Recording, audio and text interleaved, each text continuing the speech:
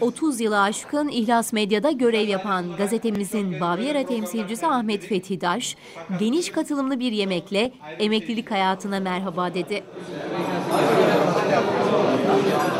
Türk toplumuna büyük hizmetleri bulunan Daş'ı veda yemeğinde sevenleri yalnız bırakmadı.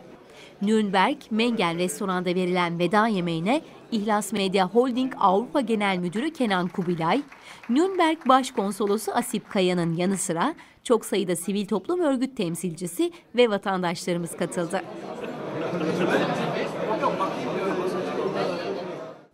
İhlas Medya Avrupa Genel Müdürü Kenan Kubilay, Fethi Daş ağabeyimize hizmetleri için teşekkür etti.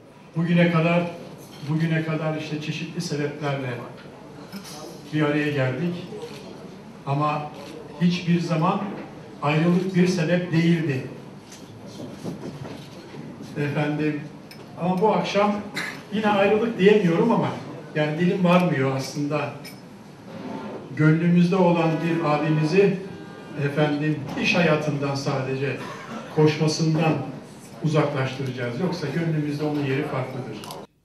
Nürnberg Başkonsolosu Asip Kaya ise Fethi Daş'la kısa bir süre önce tanıştığını fakat onun sıcaklığı ve samimiyetinin sanki uzun yıllardır kendisiyle tanışıyormuş hissi verdiğini söyledi. Toplumumuzun abilerinden birisi. Ben 1 Ekim'de göreve başladıktan sonra bana ilk ekibiyle birlikte ziyarete geldi.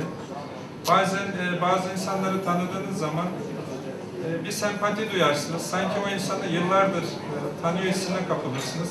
Ben bunu çok samimi söylüyorum. Fethi Bey'i gördüğüm anda sanki biz o anda değil de yıllardır tanışıyoruz. Birbirimizi biliyoruz duygusuna kapıldım. E, bugün gerçekten çok üzgünüm. Yani basın mensubu olmak çok zordur. İnsanları kolay incitebilirsiniz. Yazdığınız bir haber, bir hareketiniz.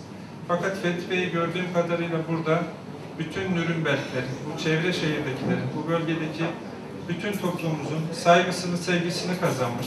Kimseyi incitmemiş.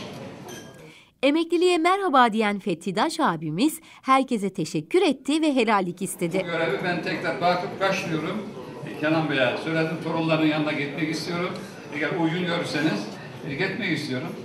İki sene sonra bize e, müsaade etti. Onun için şimdi Frankfurt'a gideceğim Allah nasip ederse. Şimdi çok kıymetli bu misafirleri görünce ne diyeceğimi de bilmiyorum. Artı e, zaten başkonsolosluğum anlattı. Artı konsolos yetkileri burada. E, Türk Hava Yolları burada. Çalışmalar burada. e, doktorlarımız, avukatlarımız, iş adamlarımız, dernek başkanlarımız. E, gerçekten ne söyleyeceğimi bilmiyorum. Hepinize ayrı ayrı hoş geldin diyorum. E, artı olarak şimdiye kadar birimize hakkımız geçmiş olabilir. Ben hakkım geçmez de hakkımı helal ediyorum herkese. Siz de hakkınızı helal edin. İnşallah arada görüşürüz. Fethi Daş düzenlenen törenle görevi Mustafa Akbaba'ya devretti. Özel olarak hazırlanan pastanın kesilmesinin ardından yemeğe katılanlar Fethi abimize teşekkür ettiler.